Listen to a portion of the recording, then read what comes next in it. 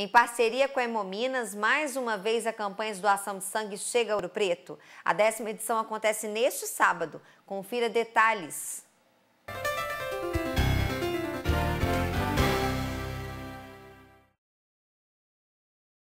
E mais uma edição de campanha de doação de sangue em parceria com a Hemominas de Belo Horizonte chega a Ouro Preto. Vai ser nesse sábado, dia 21 de outubro. Eu estou aqui com Samuel Pimenta, que é um dos organizadores desse evento, que vai explicar para a gente como que vai funcionar.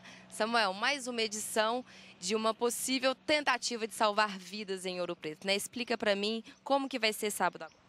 Então, Sábado agora, dia 21, das 8 às 17 horas, acontecerão lá no bloco de aula, aqui na FOP Morro Campos Cruzeiro, né? É a campanha de doação de sangue. É a décima edição nossa, que a gente já deve ter salvado cerca, pelo número de bolsas que a gente já coletou, são mais de mil bolsas já coletadas nessas últimas nove edições.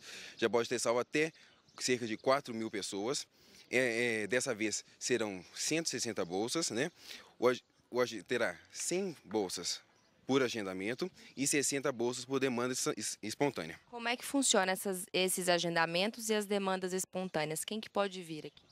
Então, a, a, o agendamento é feito pela página, que é Doação de Sangue Ouro Preto, né? ou pelo evento, que é décima campanha de doação de sangue de Ouro Preto. Lá no Facebook, vocês acessam a página ou o evento e fazem o cadastro lá, que há um link para o formulário.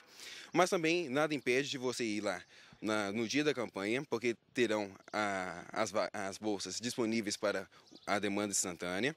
E assim, a, o, o agendamento funcionará assim: terá um agendamento e uma pessoa da demanda espontânea. Seja, Quem fizer o agendamento escolhe a hora de, de vir aqui ou não? Só, só faz o cadastro e vem de acordo com a fila.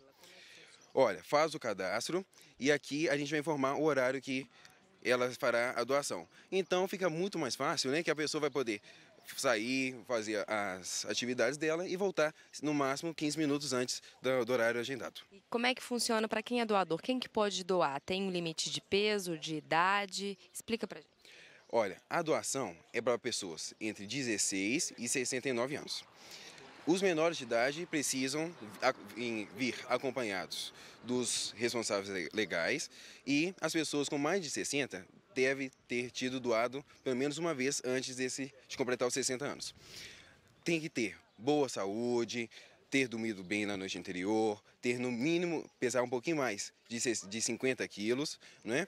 Além disso, ah, fazer uma alimentação, um café da manhã leve, um almoço leve?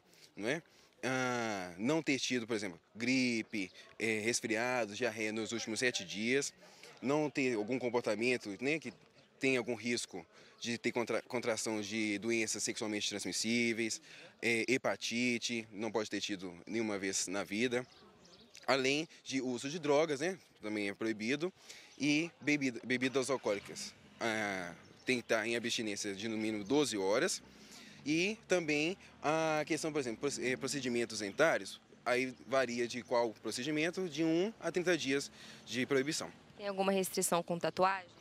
Tatuagens e maquiagens permanentes. É, 12 meses de restrição. 12 meses de restrição. E então, uma, uma doação pode salvar quantas vidas? Só para as pessoas se sentirem motivadas. Olha, somente uma doação.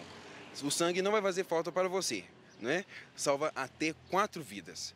Né? Por isso que nessa edição são 660 bolsas, podendo, ah, demandando da, do próprio Hemominas, talvez trazer até mais 20% a mais, a gente pode salvar cerca de 640 pessoas. Então, convida aí o pessoal a poder salvar. Pessoal, venha nos ajudar, porque doar sangue é doar vida. Então, dia 21, sábado agora, aqui no bloco de salas de aula, na UFOP, em Ouro Preto, né? das 8 às 17 horas. Te esperamos para você vir aqui contribuir com a gente. Custa nada, né? De graça. Obrigado.